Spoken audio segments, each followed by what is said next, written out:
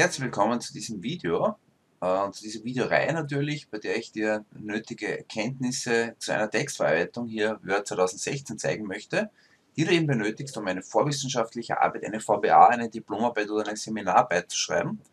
In diesem siebten Video geht es darum, dass ich zeigen möchte, wie man sogenannte Sonderzeichen oder auch Symbole einfügen kann. Ich wähle mir hier einen Platz aus, wo ich etwas einfügen möchte, eine beliebige Stelle im Dokument gehe dann auf Einfügen und gehe hier auf die rechte Seite in dieser Registerkarte und habe hier dann die Möglichkeit auf Symbol zu klicken. Ich könnte hier zum Beispiel ein schon vorgegebenes Symbol verwenden. Was nehmen wir denn hier? Zum Beispiel das Divisionszeichen. Wenn ich mit diesen hier angebotenen nicht zufrieden bin, kann ich hier gehen auf weitere Symbole und es werden hier noch weitere eingeblendet.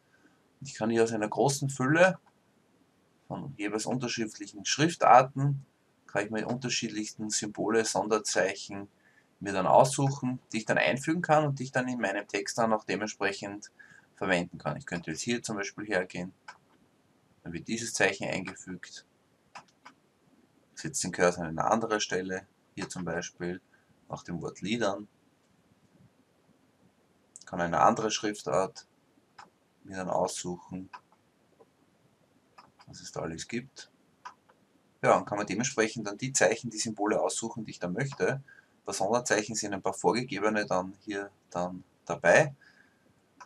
Zum Beispiel, was nehmen wir denn da? Ein Copyright-Zeichen. Man kann das hier ebenfalls dann einfügen.